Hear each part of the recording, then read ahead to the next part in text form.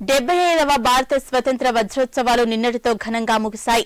గత పదిహేను రోజుల నుంచి వివిధ కార్యక్రమాల ద్వారా జాతీయ పతాకాన్ని గౌరవిస్తూ వచ్చిన అధికారులు ప్రస్తుతం వాటిని పనికిరాని వాటిలా మూలకు పడివేసిన ఘటన కంది మండల కేంద్రమైన కంది పంచాయతీ కార్యాలయంలో చోటు చేసుకుంది.